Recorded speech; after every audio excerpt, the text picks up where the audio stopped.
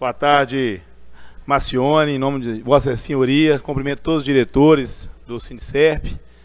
Muito bom ter esse sindicato mais uma vez representando os servidores aqui, como sempre fez.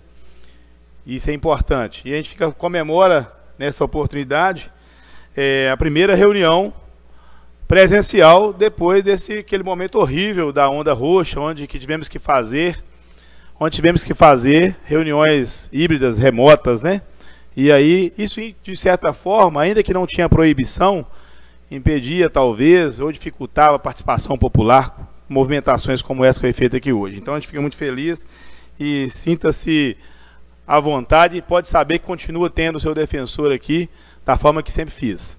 E, inclusive, já faço constar que Vossa Senhoria já me procurou pedindo a mesa de negociação para que eu possa ser interlocutor desse, desse trabalho junto ao governo, uma vez sou líder de governo. Vou levar essa manifestação agora ao prefeito, mais uma vez, e também da demanda que foi passada, que foi com a promulgação da Lei 14.151, que é o presidente Bolsonaro né, sancionou e foi publicado dia 13 de maio, ela afasta, afastamento das empregadas gestantes das atividades de trabalho presencial durante a emergência né, a, da saúde pública, ou seja, do momento Covid, nós vamos já fazer o encaminhamento de um, uma indicação ao governo que ele possa fazer através de decreto, ou que seja através de lei municipal, para que possa atingir as nossas servidoras públicas municipais que estão nessa condição, para que elas também possam ser afastadas.